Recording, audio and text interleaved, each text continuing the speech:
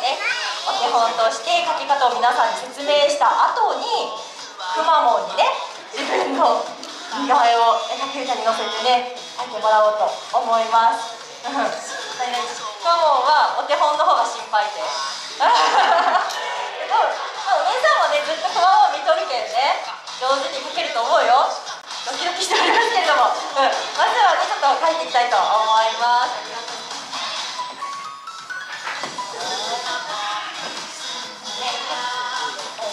たいと思います。はい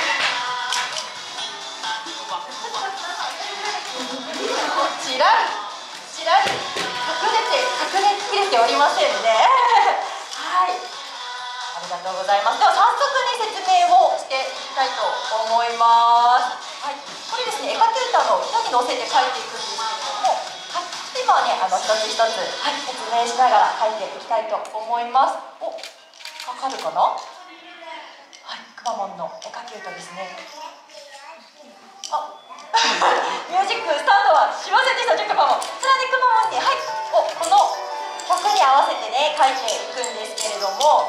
はい。ねどんどん。はい。ちょっとお姉さん説明しながら見ていきたいと思います。はい。まずはくまモンのお花を描いていきます。はい。くまモンのお花ですね。熊本の美味しいみかんで表していきます。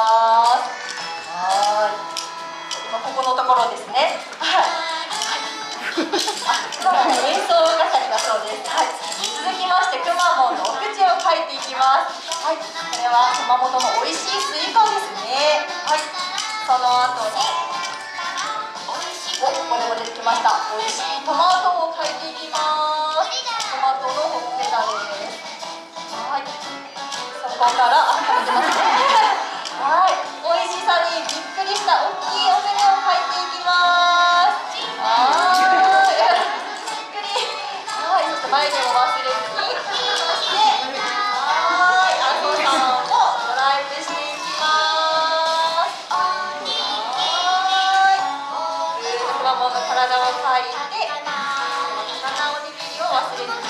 来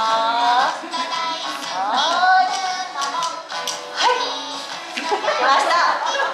こちらがくまモンです。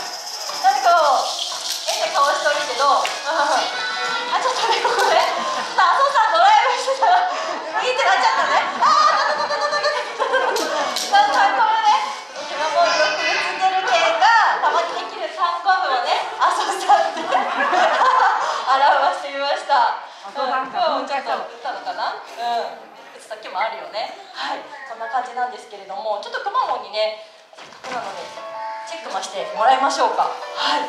ちょっとペンを。はい。くまモンのペンを。はい。ありがとうございます。はい。くまモンペン先生するはいお姉さん的にはねそっくりなのかなと思ってるんです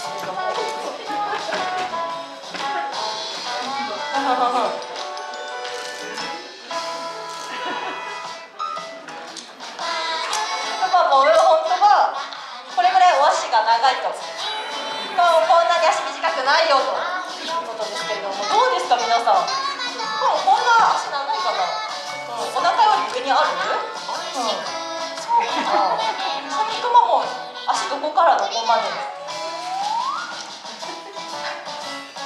ここからここまでここまでが足だそうです。皆さんに見えてない足があるかもしれないですね、うん。うん、でも言いたいじゃん。思う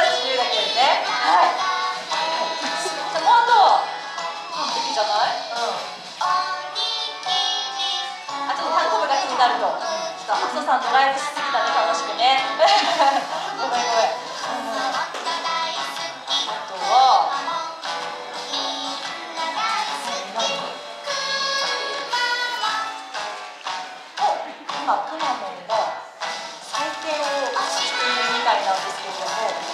おお姉さんやったかもしれません。くまモンそのままだよね。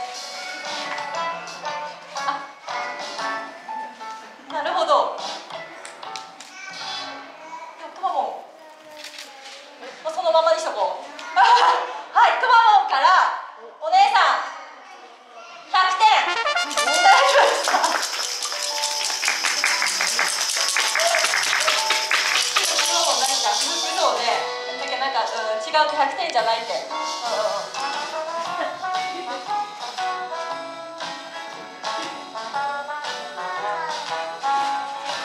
ここもしっかり見てほしいと。ここにですねシーサーが赤い点が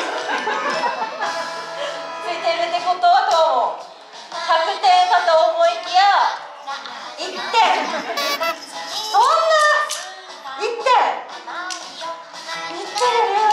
かもう100点やるだと思ってあ目もなんか違うってあ目はなんかちょっと。なんかちょっと戻っ魂戻っておいてって、うん、あ猫ちゃんみたいで。あー黒目がね。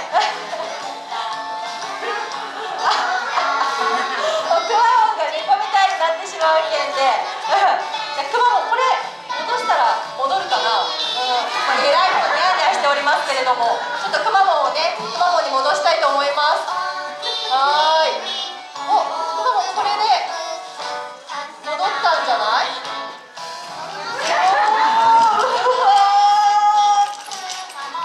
あ爪研ぎしてたもしかして。僕はほら今ちゃんとくまモンに戻ったんじゃない？